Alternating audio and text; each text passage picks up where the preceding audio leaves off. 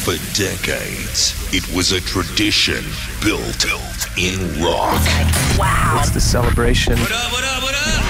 of humanity. Oh my god, it is amazing.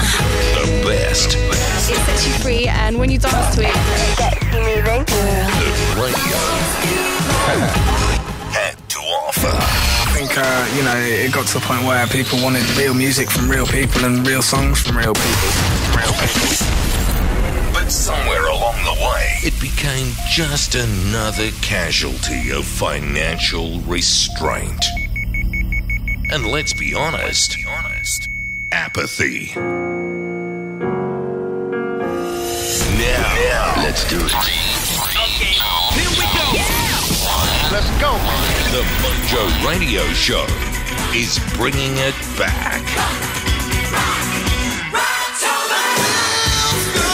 Welcome to Rocktober 2019. A 31 day celebration of all things Mojo. From the boardroom to the bedroom. This is Ryan Fox. This is Cal Newport. This is Tate Bud. Hi, this is Ivor Davies from My Town, and it's Rocktober on the Mojo Radio Show. Plus, all the trimmings you'd expect from the rockingest month on the calendar.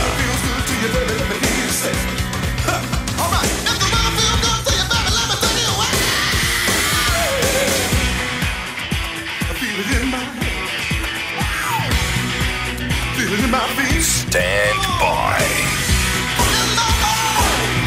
Rocktober continues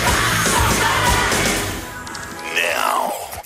Hey, everybody, and welcome to week three of Rocktober. How the year is slipping by. Our biggest month of the year. Traditionally, Rocktober was a month where rock radio stations all around the world would take the month of October and they'd redo their production, their sound, they'd do big giveaways, have gigs, all sorts of things. It'd be a sort of a random collection of features and fun. And like all good old school concepts that were valued, it got ditched. And so, about four seasons ago, the Mojo Radio Show decided to bring back Rocktober. Our Rocktober is about great guests, which we have, great music, which we have, some acoustic sets, we have, swag, we have, and we also throw in Rocktober movie mojo. So, it's all that, lots of gold, bit of fun, bit of rock and roll, a little dose of rock, as we say here in the in the studio. Uh, speaking of the studio, is everybody ready to rock, rocktober and roll? Yep, ready to rock and roll. Of course. As long as it rocks, it's on like Donkey Kong. Like you had to ask the question. That's right. Uh, can I just check the sound booth? AP, how are you enjoying Rocktober? How am I enjoying Rocktober? Well, I can tell you now, I'm not. Where's the Brock Commodore? Where's the icy cold cans of Coke in the boot? Nowhere. I think you better repeat the question. to kickstart our heart, the beautiful Lola. Did you like what I did there? To kickstart our heart. Oh, so you're just getting all Rocktober on me. Lola, the world's first and only automated podcast studio assistant. Lola, Robbo has done Rocktober Riffs, which is our Mojo song list for October. It's on Spotify. I was out in the weekend. I had it on. There's some kick butt rock in that lot, let me tell you. Can you dive into the Spotify list and play an appropriate song to get us started, to kickstart our heart, please, Lola?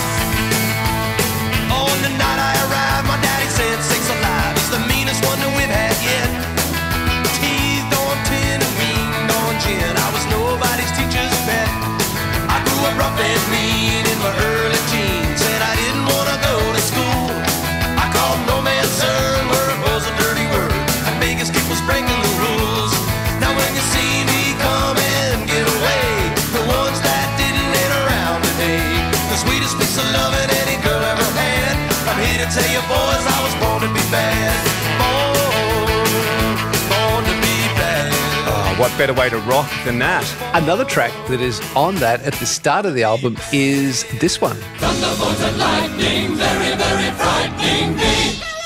Galileo, Galileo, Galileo Figaro. Magnifico. You and your queen. I don't know. I'm starting to think you're turning into a queen. No, I'm turning into Wayne's World.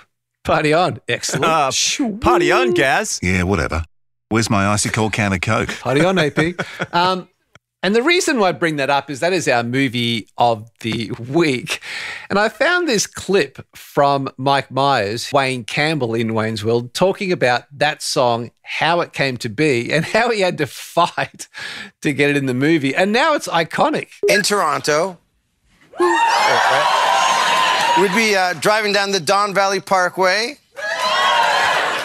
and on uh, Chum FM, um, Bohemian Rhapsody came on, and I was in I was in a uh, my brother's Corolla that was had a vomit stain on the side that turned into a. It looked like Elvis as a cameo. It looked like Scarborough Wedgwood, you know, it was just this stain. And Bohemian Rhapsody came on, and my brother pulled over. And then from that moment on, each of us had a Galileo, you know. Oh, if you took somebody's Galileo, Galileo, Galileo, you got beat up, you know, basically. Oh, you were assigned one of the four Galileos. Yeah, and then Yeah. uh, and then I uh, I had a chance to be you know write and be in a movie Wayne's World, you know, and I was like, oh my god, I would love that to be the song, and the studio went no, and I was like, what do you mean no? And then they said we want Guns N' Roses, who I love, but it wasn't something I grew up with, so I f- really fought hard for that to be the song, you know, uh, Bohemian Rhapsody. To the point, because I'd never, you know, I'm a bit of not very bright sometimes. I went, I don't want to be in the movie if that's it. And Lorne Michaels was like, let me get this straight. You've never been in a movie. You're not likely to be in a movie. And now you're not going to be in a movie. I said, ah, yeah, right. I got, I got the Scarborough in me, came out for the Torontonians. And um, so Lorne said, well, if you feel that passionately about it, yes, which was great of Lorne and Paramount. And, uh, and, and it got in. But in this movie, I got a call. Do you want to be in a movie called Bohemian Rhapsody? You play the EMI executive that turns to Queen and say, you can't have Bohemian Rhapsody on your album. And I was like, yeah. And they go, do you want to read the script? I'm like, no, not really. I'm in, you know. Just tell me when and what to wear. So, you know, If we get enough money through on our Patreon account, I want to buy a Mirthmobile with a licorice dispenser. So cool. We're still paying off the summer Hummers. Hang on, slow down. Contractor, no, I will not bow to any sponsor. It's like people only do things because they get paid.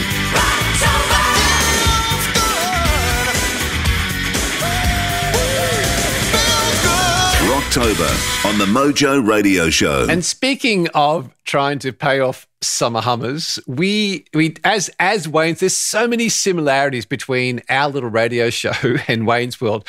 When you actually dig into it, there are so many commonalities. And one of those is we don't have sponsors, we don't have advertisers, sadly. Hello, our friends at Doseki and Mission Corn Chips. Tim, Tim Tams. Doseki. However, our Patreon page has been going really great. It, it has allowed us to upgrade our equipment.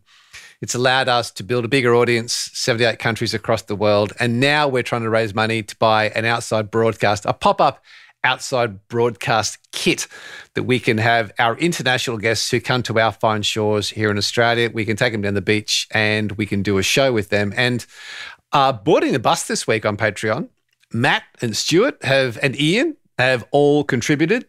So oh, if wow. you would mind just finding them a seat at the back of the bus, and not not the back seat next to AP, but somewhere towards the back of the bus. He's sprawled out asleep across it. And anybody who gets on board with Patreon, you can find us on the page there. A little bit more money, we could buy this outside broadcast kit. But we do the show because we do love doing what we do. We get access to amazing guests, but Patreon just greases the wheels and covers our costs and allows us to do some more fun things. And uh, so thanks to all the guys on Patreon. The Mojo Radio Show.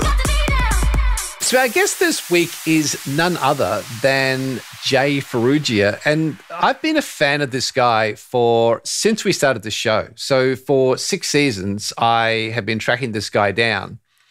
Jay Ferruggia, if you don't know this guy, he's been helping people become the strongest version of themselves since the early 90s. Now, you know how you see all these posts and stories and blogs and videos of, of the hardcore underground warehouse gyms and CrossFit, and the guys are flipping tires, dragging sleds, pressing logs, using rings. Jay was doing that 20 years ago. And He's the guy that elite athletes and coaches turn to if they want to get squared away. And something else I learned about Jay is we talk about all these group fitness sessions we see in every gym in every part of the world. It's said that Jay was actually the guy who started all that. And he's only here on the show because a good friend of our show, a mutual friend of ours, another great guy, Chris Ashenden, who was on the last week of September on the show. Chris is the boss and founder of Athletic Greens. So, because of that, Jay is with us today for October. Mate, welcome to the show. Thanks, man. Jay, you've been helping guys, in your words, become the strongest version of themselves since the early 90s. So you've been you've been doing this a long time. What I'm curious about to start with is with all your experience now and what you're seeing today, describe to me the optimal psychology that we should take into our workouts today if we're looking for true health and wellness. How should we be thinking about exercise? I, I think it's more confusing than ever in 2019 because of information overload and we live in the age of distraction. But I think if you if you think about what did people do, like what did Arthur Saxon do to get results and George Hackenschmidt back in in 1906? You know, it's still the human body hasn't changed that much. You still should do basic, simple stuff, not overcomplicate it. Because when you overcomplicate anything, like a business plan, a workout plan, whatever, the results tend to suffer. You get overwhelmed. So, how can you simplify it as much as possible? And I would also urge people to train, you know, to improve athletic ability, to to be stronger, to be more well conditioned, to move freely without pain, be more mobile. Because if you just train for more muscle gain, you're going to be frustrated all the time. Because e- even for a new, like a newbie can gain 30 pounds in a year, but for most people, muscle gain is a painstakingly slow process. So if that's all you care about is the size of your biceps or how much you weigh, like it's not, it's going to be frustrating and you're not going to be happy.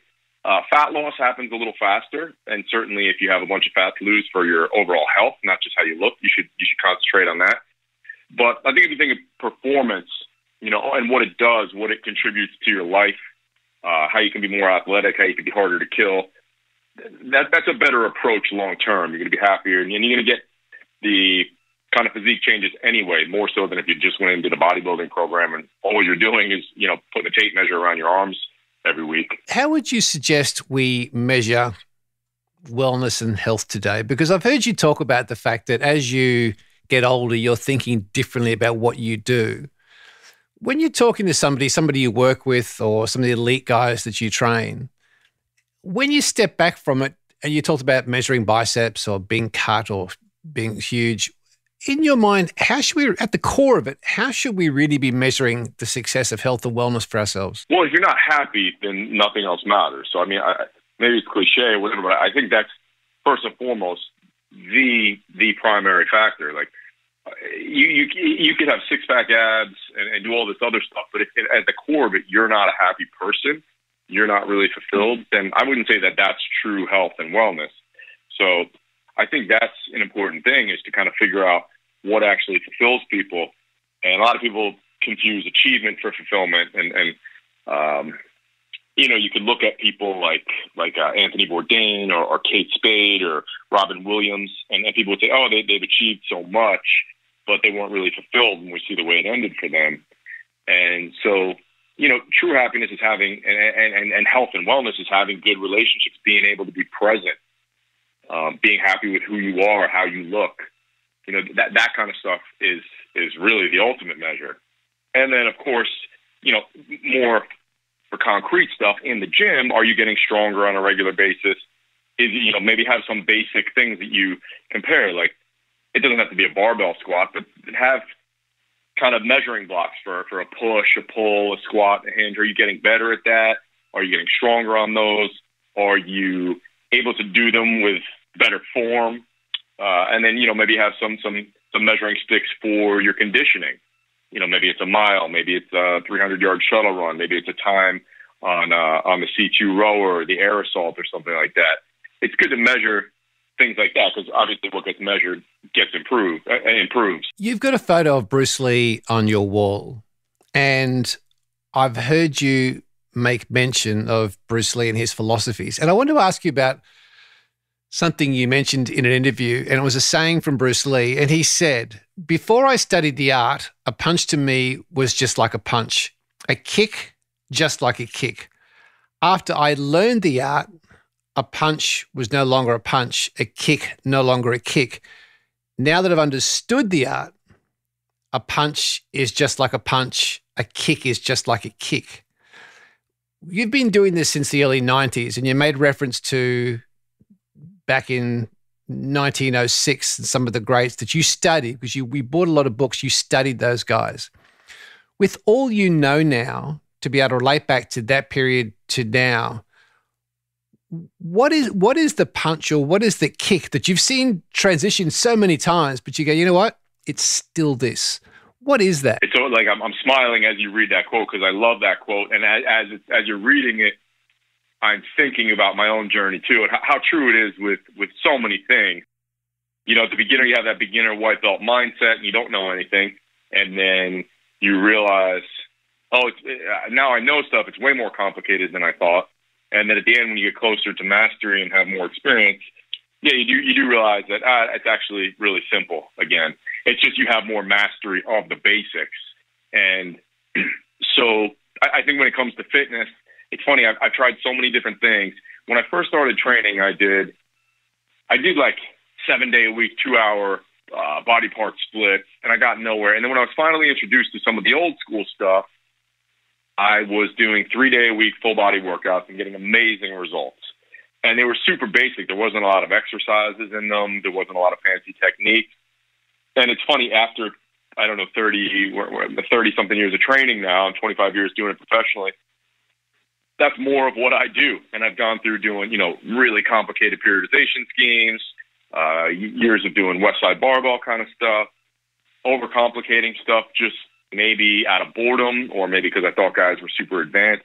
But it's funny, I work with pro athletes sometimes, and guys have been training for a long time, or maybe not training for a long time. They're just at a high level, the pro athletes, and they really need the most basic stuff. And so I think, you know, just, just bringing it back to, to really basics with exercise, like I'll still do push-ups in every workout. I'll still just do basic stuff in every workout. And I, I give that to most people. And I, I just think it's better. I, I think in any aspect of life, you know, the simple basics always work. When, you know, when it comes to business, for example, there's a million different things you can do. But if you really break down your business, there's a few things that are tried and true that you actually have to focus on. so, yeah, there, there's there's so many examples of that. It's funny you mentioned Bruce Lee, and as you were talking through your journey, it made me recount a saying from Bruce Lee that it's not the daily addition, but subtraction. Hack away at the unessentials. Yeah. Now, something I hadn't expected is is there is there an association for you? Because one of the books you recommend a lot is Essentialism by Greg McGowan. Did that come about because of your love of Bruce Lee and seeing that book and being attracted to it? Firstly, that's that's what I didn't expect to be asking you. And the second part is that based on that book, which is so important to you, what is a non-negotiable when you what, what's absolutely essential for you every day when you walk in the gym?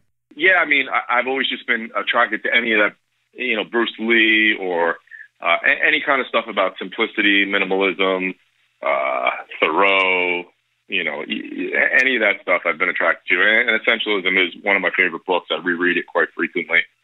What's a, a non-negotiable when I, when I go in the gym? Uh, I try to improve in some way, but you know, as you get older, you got to listen to your body more and realize that that's not going to happen.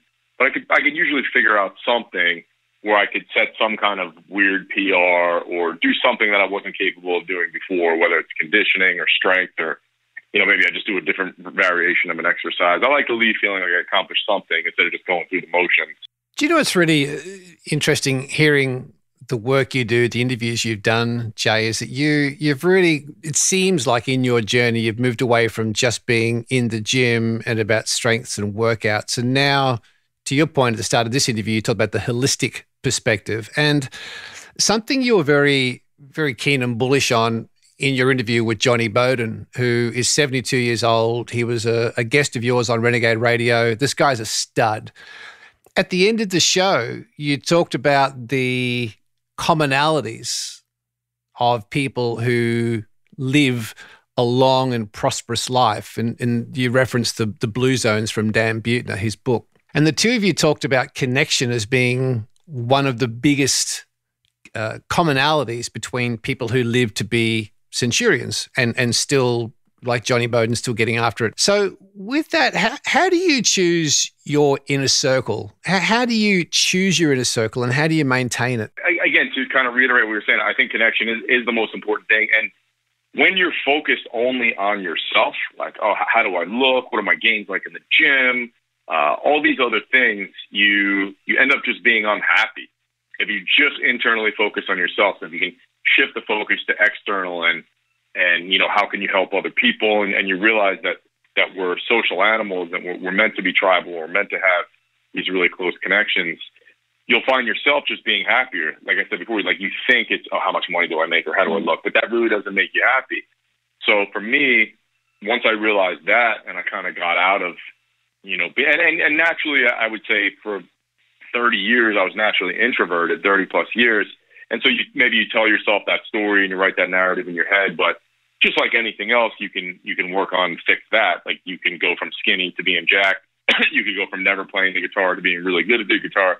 You can improve anything.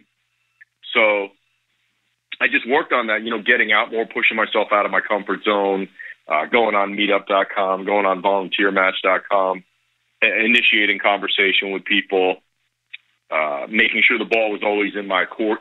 So, you know, if I meet somebody somewhere and I want to develop a relationship with them, I'm not going to do what everybody else does, which is say, hey, it was great seeing you, man. Let's connect soon. Peace. And then it never happens. I'm going to take the reins. I'm going to get their contact info, their email, their phone, their social, whatever. I'll reach out within 48 hours. I'll set a date for us to hang out again. And that's how I've been able to build so many great connections and relationships. And, you know, and, and it's changed my life dramatically. And so, I guess what do I look for in people that, that I want to bring into the circle? It's it's funny because we were having this conversation with friends the other day. Uh, you know, for me, sense of humor is, is probably the most important thing because everybody everybody that you meet in life is going through a struggle. They have pain, they're suffering in some way. No matter how happy they look, like something's wrong. Everybody's got their own struggle. And so if you can bring laughter to them, I think that's the greatest gift. So I've always been a fan of, of Dave Letterman and, and Jerry Seinfeld and studied comedy and have taken stand up. So I love being around people who are like that, people who appreciate humor, people who can bring humor. I just think it's, it's, the best thing for us. And I, I even tell coaching clients, like at the end of the day, maybe you trained hard, you worked hard, you did all this stuff, but if you didn't laugh, consider it part of your daily routine or your daily homework to either meet up with some friends who are funny and will make you laugh, or just pull up some stand up comedy on Netflix or something. Like you have to laugh every single day. That's part of being healthy. That's as, important as eating the right food and training. So that's the thing. And then I just like people, and I think it's it's human nature that everyone's going to be attracted to people who are passionate and energetic about stuff. Like if you're just kind of middle of the road, you don't have strong opinions, you don't get really into stuff. It's going to be harder to connect, you know, uh, for people to connect with you. Like when I'm with one of my closest friends recently, we discussed the second to last episode of Game of Thrones for over an hour, and then we discussed dessert because I- I'm like, you know, I grew up, uh, I have the worst sweet tooth in the world, and I grew up a little fat kid, and so we talked about desserts, and we just overanalyzed every dessert in the history of the planet for two hours, and they were all excited about it. It's like, you know, I love people who are passionate and fired up and that kind of stuff. So, and then of course, just being positive, like negativity, shit talking, uh, any kind of pessimistic stuff. You come up with a great idea, and someone says, "Oh, that's never going to work." Yeah, not not really great. Not a great way to build relationships, and certainly not something that I want to be around. And I think it's it's it's important for people too to cultivate that in their own world. Like, be aware of the people who are always gossiping and and putting down your ideas or saying it must be nice or something like that because that that kind of seeps into your subconscious and then you become like that and the more time you spend around people who are the opposite the better you get the more successful you become the happier you become Improv was one of the things you stepped into, and you said that doing improv brought out your weaknesses. What what were those weaknesses for you, Jay? just always being conscious of I think everyone's making fun of me. I think everyone's, you know, uh, everyone's worried about how I look or what I'm doing, and and I'm I'm not good at this. I I can't speak in front of groups, and I'm really shy and socially awkward and insecure. And that was just a story I told myself long enough, and then I realized, wow, it's really not true. I can, I can do all this. Nobody cares. Everybody's nervous getting up there, and and that's the reality of of life every day. Like we all, at some point in your life, you're some you're you're conscious about something. You're self conscious. You're insecure. We all stuff we're insecure about, and we think everyone else is noticing that. Oh, like look at that guy's hair. Look look at his. Uh, like nobody cares really. Everybody has their own shit that they're worried about. They're so in their own head that they're not worried about you or thinking about you or making fun of you as much as they think as, as you think they are. And I think the reality is the opposite of, of, of what most people think. It's that even though you see negative comments on a YouTube, you know, on YouTube videos and stuff like that, I think the majority of people want you to succeed. I don't believe that the majority of people are haters. I think the haters are that small percentage who climb out of their mom's basement and leave comments on social media. But the majority of people, if we if we went to the Staples Center at the Dodger Stadium right now and filled it with twenty thousand or fifty thousand strangers, and, and me or you or anyone got up on stage and, and was going to deliver a speech, the majority of those people, or anyone out of the fan out of the stands was picked to deliver a speech, the majority of those people want who's ever on stage to succeed. They're not going, oh my God, I hope this person fails. I hope they're terrible so I can make fun of them. They want them to succeed because we're all, public speaking is the number one fear. So if you can get up there, or if I can get up there, or Sally can get up there and do a good job, like, man, that shows me what's possible. That's awesome. That's inspiring. So I, I think it's the opposite of what, what most people think. Is, is most people want you to succeed. It's interesting, Jay. You you mentioned we all have our struggles, and quite often when you have a guest on a show, they look at that person and they're talking about the world they've got, and a lot of people would walk away going, "Well, it's okay for him. It's okay for her. Look at what they've got going on. It's all very well for them now." You you actually had your own struggles because if I take you back, you grew up in a very violent, way you described it, a violent household, and you said you were in fear, where you had a dad who was cheating, there were fights, and you you were there was a lot of internal torment for you that came from the environment you lived in. How did you eventually face that and step into this this Jay? How, was there a moment? Was there a process? How did you eventually have you left that behind? Were you able to leave that behind? Yeah, it's it, it's a long, ongoing process, and I guess for so many years I ignored it. I think, and I think that's a pretty common journey. A lot of people just want to forget about stuff and escape it and put it in the past, kind of lock it up, and you ignore it and you move on. And you can, I, I find that most people can either have one or two outcomes. You either become the situation and the environment you grew up in, or you become the exact opposite. And I always had that in mind that I didn't want, like, I wanted to get as far away from that as possible. I didn't want to be someone or around someone who was confrontational and arguing and screaming all the time. I hate that kind of stuff, which is funny because to this day, like, I can't watch The King of Queens or any kind of, even if it's a comedy where uh, a married couple is fighting and arguing all the time like I physically can't watch it. It drives me nuts because I, I think it just reminds me of childhood so much. uh, so some of that stuff you take with you forever. And but but I but I just realized you know like at some point there's a lot of things from childhood, and this is only recently where I chose to address this stuff. You know, the last five to seven years where I chose to say, all right, I, I've been doing well in, in certain aspects, certain realms uh, of my life, but there's certain things I know that are holding me back. So how do I address that? How do I kind of dig deep on that? And you know, I got into meditation, float tanks, and plant medicine, and, and trying to dig a little deeper and, and and address that kind of stuff. And then I realized why I had a chip on my shoulder and why I do things to prove myself and why I had some of that anger. And, the reality is, I wouldn't trade any of that. Like, it, I probably wouldn't be as successful as I am today, and or maybe be where I'm at. Um, you know, I, I think everyone can take their hardships and, and, and turn it into fuel for success, and, and that's a good thing. I mean, some people can obviously use it in a destructive way.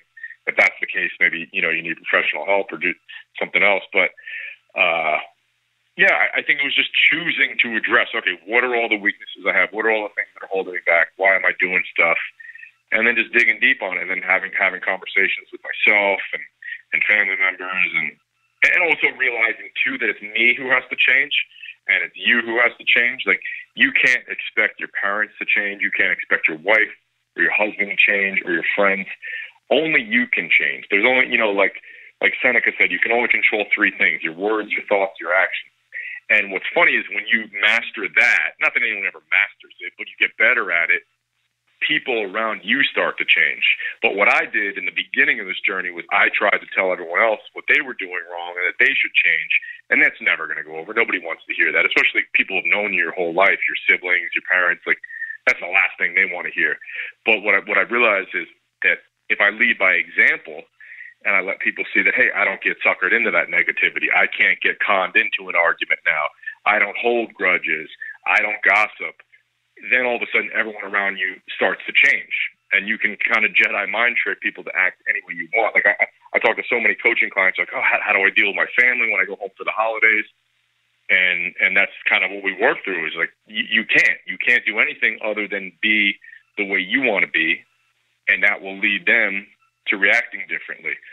Like my, my people don't gossip around me anymore. People don't talk negatively and complain and talk shit. And because they know I'm not going to tolerate it and I don't want to deal with it and I'm not going to join in, and all of a sudden they feel like, oh, we're, maybe I shouldn't talk about this either. You've said that you still find yourself closing doors really quietly for fear of being heard, which came back to as a, as a kid, you said you snuck around the house because you didn't want anybody knowing you're there because the the violence, of the abuse may turn back onto you. So you you, you became a, a ninja. Um, what do you fear today, Jay? When when you look in the mirror of truth today, what do you fear today? I guess not not not being as good of a whatever it might be to people I love, you know, friend, son, whatever. Um, probably that. Probably like like if I if I was told I had just a few weeks to live, I would, I would go through the people closest to me and think, was I there for them in every way? Was I ever unavailable because I was caught up in my own head, my own problems? Uh, probably that. You've got a tattoo on your arm that says the word relentless, and you have referenced your dad, but you never really explained how your dad fits with that word. How does that relate back to your past and your dad? First and foremost, it's just that everything I do, I want to do to the best of my ability. I want to be the best at it. I want to get better on a regular basis. I want to chase the life I want relentlessly. And that doesn't mean, you know, just going to the gym or financially. It's, like I said, being a good friend or, you know, whatever it might be. I want to get better and I want to pursue that. I think my dad was, he, he used to work 24 7. So maybe he wasn't there for us as, as much as he'd want. And, and also whatever we did was never good enough, was never great. You know, we had to, like, I, I, I joked around uh, plenty of times about saying, you know, I could get elected president. And he would say, well, why don't you win by a larger margin? You know, so, uh, like, I really believe he would have said that. And so, you know, nothing was ever good enough, and, and, and he was always busy. And, and that just forced me to work harder. And like I said, like, I'm not sad about it. I don't have sour grapes about it. It is what it is. It instilled that work ethic in me, which I'm happy about. And today, to this day, I have, you know, I have, I have a really close friend that I run a business with, and and he's very opposite a lot of ways, where he's really content to just work four to six hours a day and just chill out. And every time, it, it's really good for me to be with him because I'm like, man, this is helpful for me because I envy you. I wish I could turn it off more and and and not be so relentless all the time. Uh, but again, I wouldn't trade it. I think it's it's helped me accomplish a lot and helped me get where I'm at. Um, but yeah, I think that's kind of where it stems from. You said that growing up in a household was really hard when you wanted love, but you didn't get any love from your dad. And then you've got a photo of your stepdad, Ed, next to your bed. And you said you look at it every morning. In those quiet, reflective moments today with your past and where you are today, Jane, the success you have, when you when you look at that photo of your stepdad, Ed, what comes to mind for you? Just like happy memories and, and you know so many fun times we had and jokes and uh, I mean we, we used to laugh all the time and we spent a lot of time together. And, he was always and almost to a fault maybe and, and I understand why. Like he was my biggest fan and almost to a fault. When I say almost to a fault I mean like sometimes maybe you know maybe he, he could have questioned what I was doing a little more and maybe but I understand you know it's, it's tough when you're kind of a father figure to to someone you're dating. Like, but he, he and my mom never really got married, so he was unofficially my stepdad. But I get where there's, and you know, I was older when they started dating, so uh, I get that it's a tricky situation for him. But you know, looking back, maybe there were there were times where he could have said, "Dude, maybe you shouldn't be doing this," or "That's a bad idea," or stuff like that. But he was always my biggest fan, and. uh so yeah, I, I just I just think of happy memories and you know doing stuff that would make him proud. There's no doubt, Jay, hearing you talk about you and the circle you hang with, and then hearing other people compliment you on how you've done that and the relationship you have. And you really, there's no question that you've got an A grade circle and you work hard at keeping that circle. What's the single best thing that you ever started doing to create these outstanding relationships with others? I mean, you've got an amazing network. What was the single most important thing you did in that process? There's so many things, but if you wanted to say one thing, it's actually trying. Where most people will just say, "Oh, I don't have that many friends," or "I don't have any cool friends," or positive friends, or friends that are doing that kind of stuff. And I just sat there for years too and did the same thing. I look at everybody else with their cool, cool friends, but are you actually trying? Like that would be like if I sat home and said, I, I wish I could squat 315, but I never actually went to the gym. but I think that you know that that would be step one is to say, hey, you know what?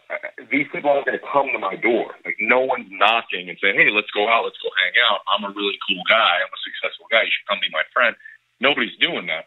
So you have to choose to do that. And where are these people? Figure out where they're at. Go to conferences. Go to events. If you have to invest in yourself, go to you know, there's there's people that I was fans of that are good friends of mine now. Will come over if we have a, a, a UFC or Super Bowl party, and vice versa. People that were fans of mine that were good friends now, and, and people that are fans of mine that, that work for me now. And, and I've seen that across the board. You have to actually just consciously make the decision.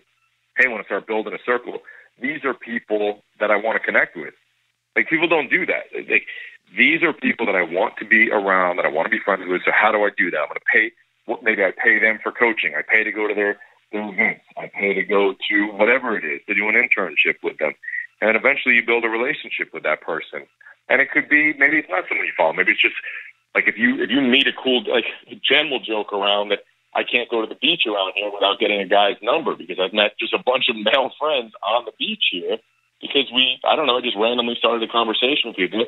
And I'm like, hey, this is a cool dude. We should be friends. It's so unusual and uncomfortable for another straight guy to be like, hey, here's my number, let's hang out. But I know it's uncomfortable for everybody else, so I'm not going to wait for them to do it. I'm going to do it. They're like, yo, me and this dude have a lot in common. Let's grab coffee one day.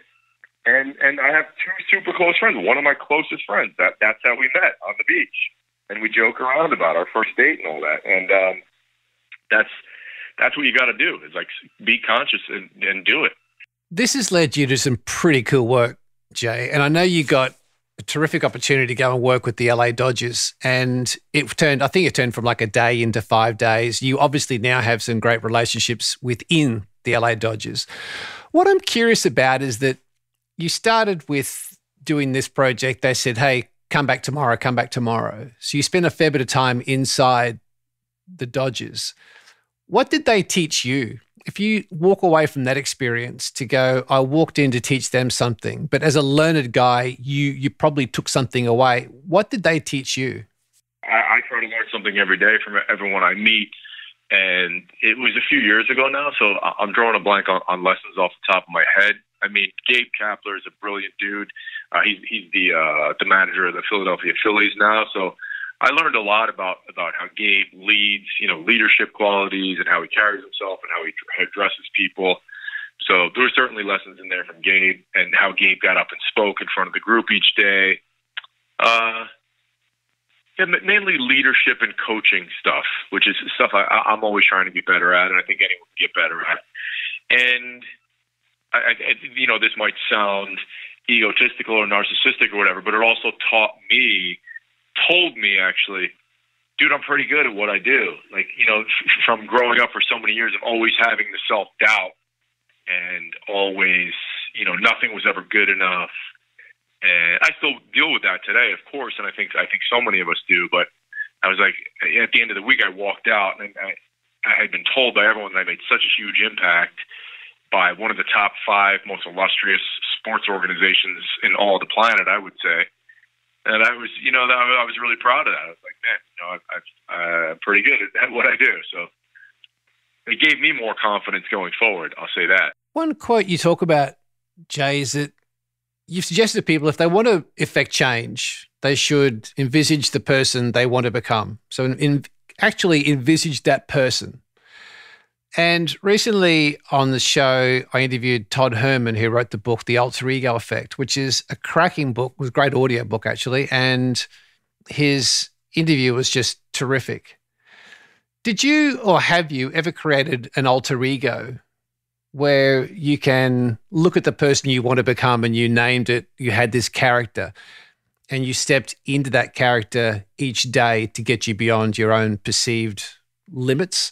Have you ever used that process? So it wasn't a, a specific kind of character, but, I, but what I would do is I would envision that when I left the house in the morning, I my theme music playing, and there was a camera on me, and I was just walking down the street like this invincible badass kind of character from a movie, and I could hear my theme music playing, and that was just something I would do on a regular basis because I was used to leaving the house not having a ton of confidence and not being, you know, kind of thinking that I was invincible and could do do all kinds of things and and, and be this uh, kind of badass character. So yeah, that was that was practice for a long time. And I, I tell people too to just envision somebody that makes it relatable, like you know, whoever it is for you, whether it's Muhammad Ali or Rock or it's you know whoever it is that you think epitomizes charisma and leadership and whatever you know characteristics you want to embody, envision that person, then play that role, be that person. Or maybe it's your cousin Johnny or your friend. That maybe that makes it even easier to relate to because you see that person all the time. Like, how would this person act? How would this person enter a room? So if you're the kind of guy like I was who normally enter a room and go find a corner and hide out and just latch on to one person that you knew and not meet anyone else, say, okay, what do I want to act like? How do I want to interact with people?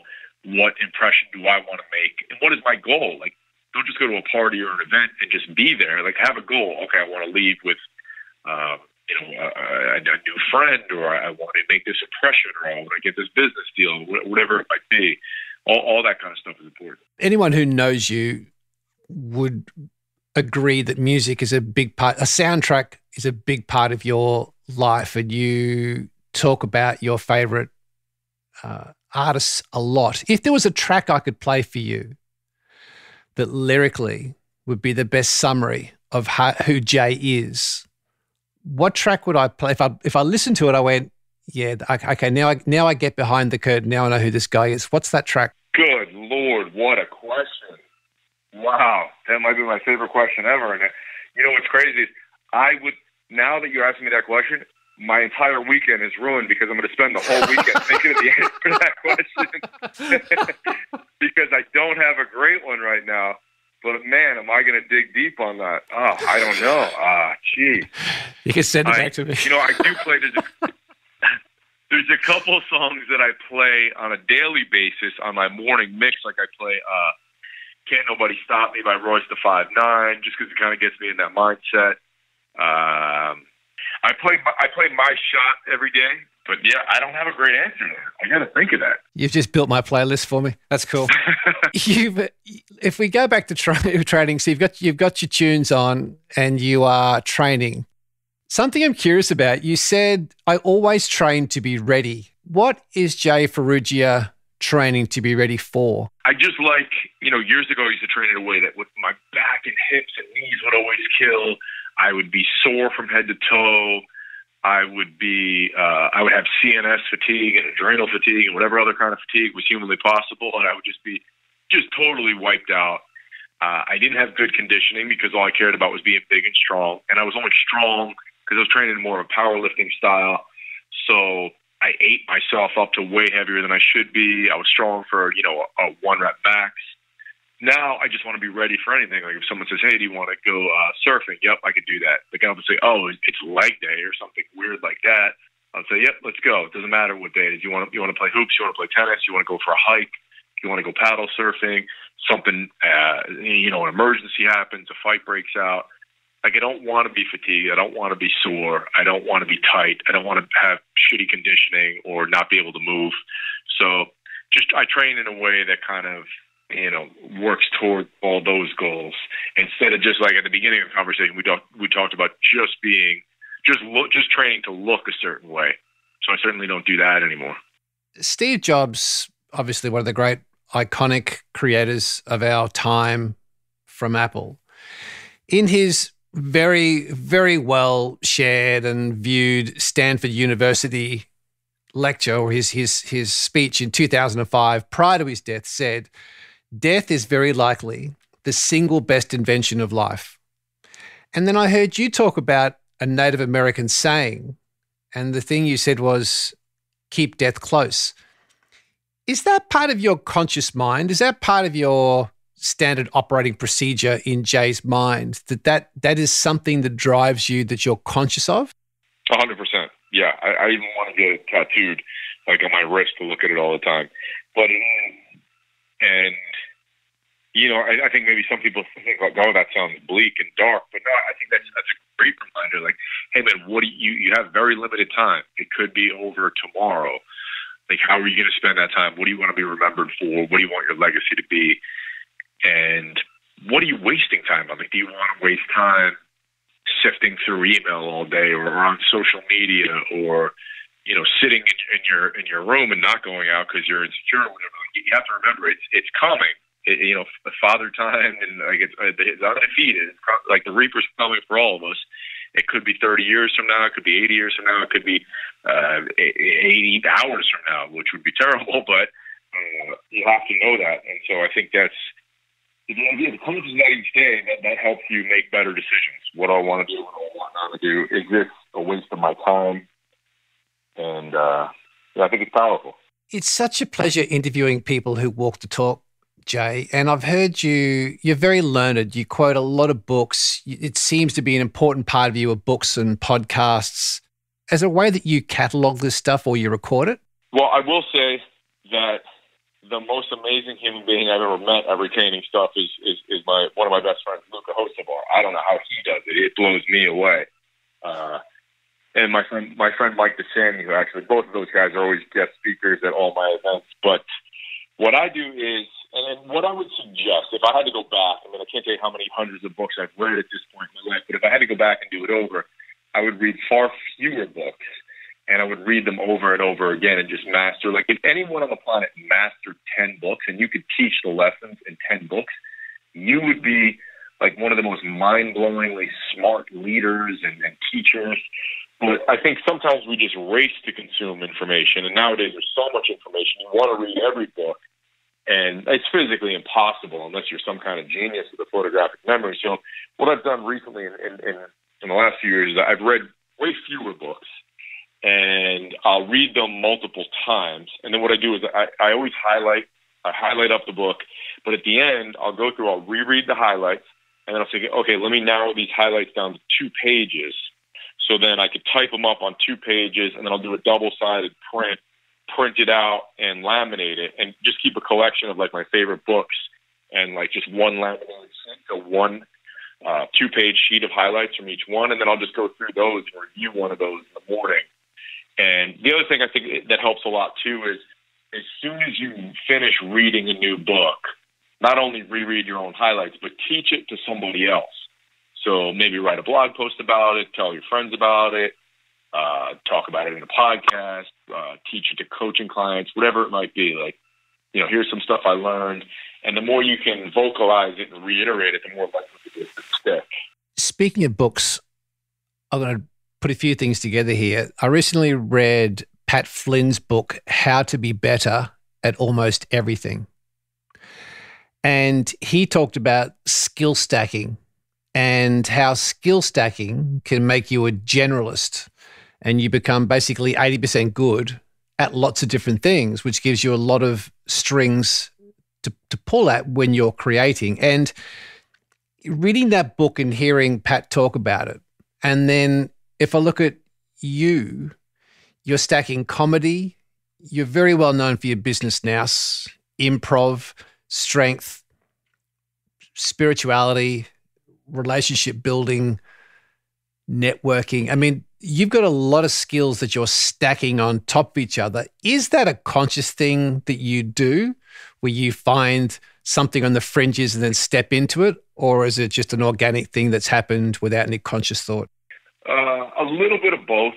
I think that uh, I I could look at both sides of the coin here, where you you have to realize in life like you can't have it all. You have to choose what you want. You can't be a master of everything. You can't have everything you want in your life, all the people, all the relationships, all the experiences. Like you have to choose certain things. You have a limited amount of time and a limited capacity. So people who are unhappy and unsuccessful, I think a lot of times they get caught up trying to do everything, and trying to consume everything. And So you have to choose and cultivate and then, you know, be a kind of purveyor of 80 20. That's important. Uh, me, I, I appreciate you saying that. I don't feel like, um, I feel like the, the, the things that I have gotten good at are just things that I'm passionate about. So I think it's easier. I, I think if you try to accumulate a bunch of skills and stuff you're really not passionate about that you wouldn't do for free, that's not a hobby, and it doesn't enrich your own life, it, it's probably you're probably never going to get really good at those things, and it's always going to be a struggle. Uh, you know, like I think back to when I was in school and I hated school and I was the worst student and I was forced to go to all these classes that I had no interest in. Whereas if I could choose, like if there was classes in those four or five things you just mentioned, I would go every day and be super excited about it. Uh, so I think, yeah, you know, if it's something you really love and you're passionate about, but I, I would say don't try to be to do too many things because then you will be a master of none. Uh, and I've gotten caught up on that. Like, there's a lot of things I want to do. Like, I, I want to be really good at three different instruments and, and do all these other things and learn all these different languages. But I have to be realistic with myself. Like, there's just not enough time. And uh, man, maybe I'm not smart enough. I know I'm not smart enough to do. So, you know what I mean? So you have to be uh, honest with yourself. You mentioned the Stoics earlier in the show. What's the greatest lesson you've taken from Stoicism, or what's the one saying, phrase from Stoicism that is at the core of your soul? I, I think it's just that one that, I mentioned before was, you know, there's only three things you can control your thoughts, your words, and your actions. And so try not to get too caught up in circumstances that you can't control, what people are saying that you can't control, what people are doing that you can't control. You know, you just control what you say, uh, what you think, and what you do. And then, you know, the chips fall where they may. If you're doing the right thing, then you, at the end of the day, you know, you can be okay with yourself. If we loop this, I'm going to let you go now, but if we loop this right back to where we started and we started in the gym, there's a quote that I've heard you talk about. And, and for you, you said in your words, it's very profound for you that Arnold, Arnold Schwarzenegger said it start, it all starts at the gym. Do you still believe that today, Jay? I do. I don't train every day, I will have a ton of anxiety and stress. I won't feel as good. Uh, I, I, yeah, I, I need that. I think, you know, for everybody, maybe it's different, but I do like pushing myself physically, you know, trying to overcome, trying to get better. Uh, I think there's so many, there's so much symbolism there with the struggle and the strain and the strength and sweating and getting out of your comfort zone. And yeah, so so for me that that's a non-negotiable. I, I got to do something like that every day. It's really funny. Just to close this out, you said before that maybe you're not smart enough, and it's something you've talked about. You've you've actually written that you've got no special skills, do nothing exceptionally well. You were a D plus to C minus student. You got under 900s on your SATs, and in your words, you said, "I'm far from being the smartest guy in the room." You've had great success. You are very, very well respected. You have got a, a, a, stellar reputation. What would you, if you went back and had another crack at all that? What would you do differently? I, I was just such a terrible student because I didn't see the value in this. Because I was, I guess, maybe smart enough to realize, like, dude, I'm never gonna learn. Like, I'm never gonna use any of this in the real world. Like, somehow I just had the foresight to know in 2019 that the internet would be around or whatever. Like, I was like, I'm never going to use this. Why are you teaching me useful life skills? But what I would have done probably was I would have for sure been different about the way I interacted with my classmates and started building my relationship skills way earlier in life. I would have tried to solve problems because they don't teach you how to build relationships in school, and that's one of the most essential things. They don't teach you how to solve problems. You just memorize stuff. And that's one of the most essential things, especially for some a kid coming out of school today. They don't teach you leadership. So I don't know what I would have done differently to be a better leader back then. Maybe just you know figure out things about the way I carried myself, and the way I acted. But uh, and and I would have been way. It's funny because you know now I do read so much and consume so much information.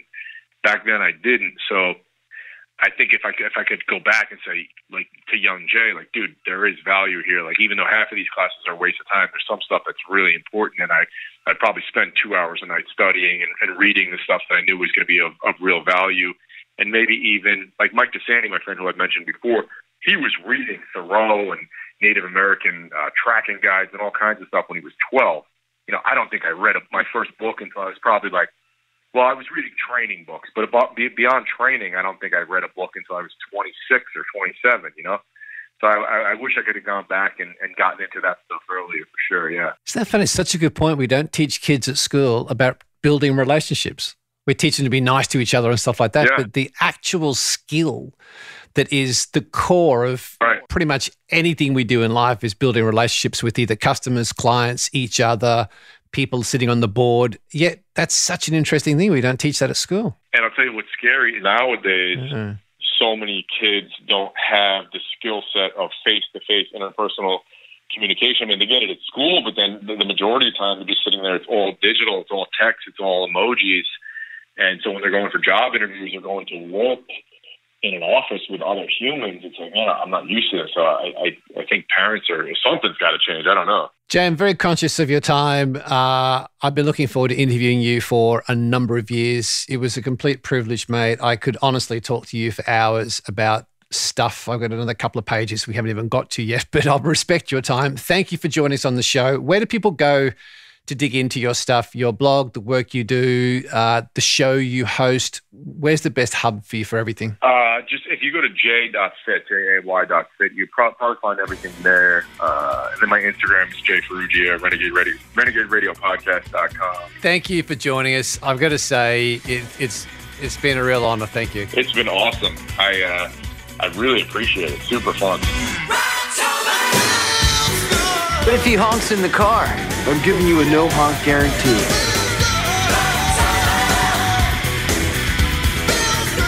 If you're gonna spew, spew into this. The Mojo Radio Show. We traditionally, to shake our little format up for Rocktober, like to have a little musical interlude. Uh, we've decided we will have an acoustic set each week of this Rocktober. What do we have this week lined up for acoustics? Well, we've got a guy, an Australian guy, well-known Australian guy called Joe Camilleri, doing uh, Van Morrison's Brown Eyed Girl. But the other thing I've tried to do, don't know if you've noticed, Gaz, but I've tried to include a little bit of a, a story in each week's acoustic.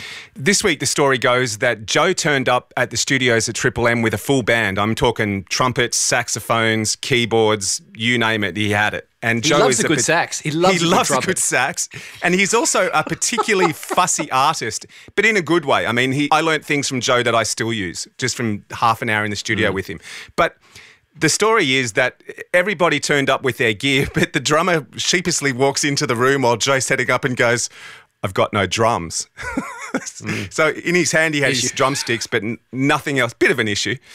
But anyway, 10 minutes later, he's sitting on a milk crate with a guitar case and a drum kick pedal in front of him and a plastic rubbish bin, which he turned into his drum kit. Now, Joe is the pickiest artist on the face of the planet, and you could see the disappointment on Joe's face. Long story short, we finished recording. Joe walked out. He was so happy with it, he took a copy of the recording with him as he left the room. So, the story is, well, I guess the moral is, hey, you know, things might go wrong, but you adapt, you overcome, and sometimes gold comes out of it, I suppose. What guest is about adapting and overcoming? Pop quiz, hot shot. Can I have five minutes to go back through the back catalogue? Jack, Jason Ferruggia? Jason J. Redman shot in the face in Afghanistan. Ah, yes, of course. Yep. Yes. He said, I'm the overcome guy. Adapt and overcome. There you go. Well, this was a classic example of that. Yeah, where do we go? Days when the rain came down at the hollow, playing a new game, laughing and running, yeah, skipping and jumping. Yeah, missed the morning fall. Oh, you know you got my heart thumping. Yes, you, my brown-eyed girl. Hey, yes, you're mine, brown-eyed girl. Say whatever so slow. Going down to the old man with a transistor radio. Running a lamp in you, hiding behind a rainbow wall. Slipping and sliding, yeah, all along the waterfall with you, my brown-eyed girl. Yes, you're mine, brown eyed girl.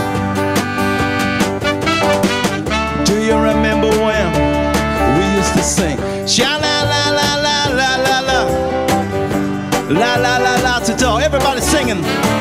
Sha la la la la la la la. La la la la to do.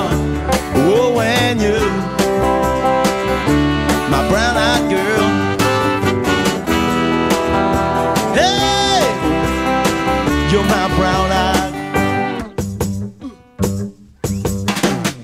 It's so hard to find my way.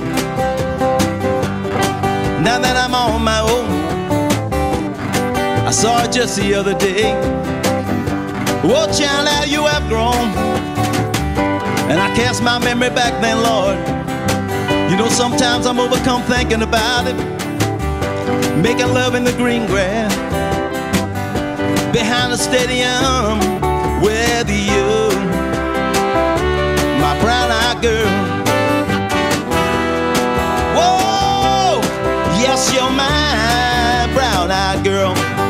Come on. Do you remember when we used to sing? Sha la la la la la la la la la la la la to dog. Sha la la la la la la la la la la la la to dog, baby, baby. Sha la la la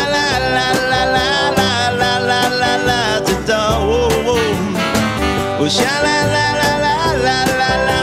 Oh la la la la and you, my brown girl.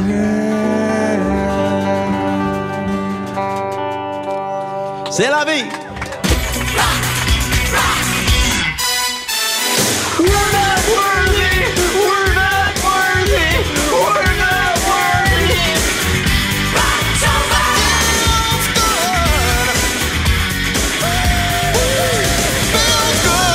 Rocktober on the Mojo Radio Show. One of the things that I take when I hear people like Jay Ferruggia, and this does relate back to something that Cameron Schwab, a guest of ours on the show a couple of weeks back, talked about, is how do you curate the learnings and then put them into your world? An example, because Jay just dropped a load of gold. An example of that was I got a note from a guy called Tom, who is a developer, and he had listened to Evan Hafer from Black Rifle Coffee Company and Matt Best, both get former guests of the show only weeks ago. And Black Rifle Coffee Company have a, a very clear mission inside the company and also outwardly focused through all of their stuff, which is to make premium coffee for people who love America. And Tom's done that, and he now wants to build housing for those people who are underprivileged, who are at the wrong end of the straw, who don't get the help they deserve. And I, I, th- what I take from that is I just love it when people take something from a show and then transfer, because all these things are transferable. It's just how do you capture them and then do something with it, isn't it? Yeah, it is absolutely. I, I've probably noticed it a bit myself. I've, I've taken a bit of an interest in Japanese rugby lately, funnily enough. But um, they've got themselves a new coach, a guy called Jamie Joseph, who took over from another well-known coach, a guy called Eddie Jones. But Jamie used to play for the All Blacks, and tying that back to the Mojo show, thinking about James Kerr and his book Legacy when we spoke to him, Jamie's transferred obviously the skills that he learnt at the All Blacks in terms of discipline and the way they play in the game and taken that to Japan with him. And Japan are just killing it at the moment. So I, I think that's another perfect example of transferring, you know, skills and, and things we've learnt from one place to another. Well, there's a bigger piece with Jamie Joseph because he played with the Highlanders and then played with the All Blacks, but he's transferred not just the skills part of it. Mm. Yes, that that is a very very important part of it. I think above and beyond that, what's also transferable is the culture, and to have a culture with the All Blacks have an Yeah. eighty percent winning record for hundred years, and they have a rock solid culture, which you'll read about in James Kerr's book Legacy that you mentioned. Imagine taking that and saying, okay, let's going to go into another team in a different country, different language, different everything. Let's create a culture there. Not the mm. same, but take transfer the thoughts, the what the means to be able to do it, the questions to answer, the basis of it. And I think that's Yeah. what this guy who's listening to the show, our listener, mm. has done. And I think that's what Japanese rugby perhaps are doing.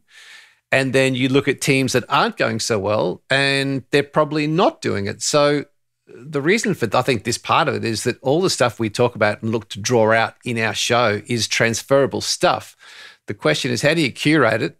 How do you learn it well enough to be able to go and execute it? But then going and doing something and knowing that all the stuff we talk about here is transferable. And it's I think it's gold. Do you reckon the actual process of transferring it is something that you can just go out and do, or do you reckon that's actually something you've got to work at as well? Oh, you got to work at it.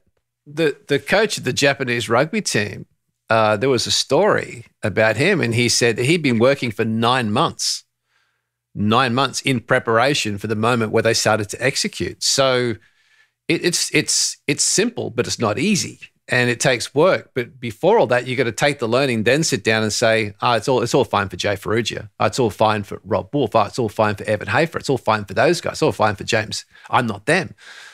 But we focus as Logan Gelbrich, who is on our street poster with gold, is don't focus on the outcome. Focus on the process. So, what's transferable is the process, the questions you ask, the process, the time you put into it, the disciplines. That's the bit that's transferable. And don't get caught up on the outcomes. But we, we compare ourselves to the outcomes and go, I could never do that. But what we don't go is, well, if we if we execute properly the processes, the outcomes take care of themselves. The, the Mojo Mojo Radio Show. To close our little program for week three on Rocktober, I've got to say, as I said at the head of the show, there are so many commonalities with Wayne's World and our little program. This is Dana Carvey talking around, and this is this is not what you'd expect behind a movie like Wayne's World. Here's Dana Carvey talking about philosophically how did they approach the movie. We weren't just cavalierly making a film, and we weren't thinking about money or fame, I swear. No, we're not interested in money. We all love movies so much, and the fact that we're honored enough to be on a soundstage with a camera recording our antics. Uh, I mean, nobody was lazy. Everybody was trying to do their absolute best. And, um, you know, I think Mike's obsession with detail and his, his uh, work ethic, you know, really kind of was the rocket propellant for the movie, you know. I love that. But the other thing that I reckon's obvious in Wayne's World is they just wanted to have a good time on top of all that. Well, sitting underneath it, when, the thing that I relate to the most for our show is he said it was just an honor to be on a film set to do a movie. And we feel exactly the same way. We have a Jay Ferruggia or a Chris Ashenden or a Evan Hafer or a Jay, anyone we've talked about. It's an absolute honor to have them on the show. And as he said about his partner, Mike Myers, Wayne Campbell, he said he was there every day to do their absolute best. And that's all they wanted to do. And they said it wasn't about the money, it was just about doing great work. And I think that comes through in the show in lots of different ways. And it essentially is how we've put this program together. I mean, right for six seasons. It's just been about great guests doing great work, making it fun, making it sound awesome. And it certainly hasn't been about the cash. No, I think for us to to to paraphrase an, another quote we throw around here a lot is it it's about the mission for our show, isn't it? As opposed Absolutely. to being about anything else, really. Sweet. I'm on it. We're out.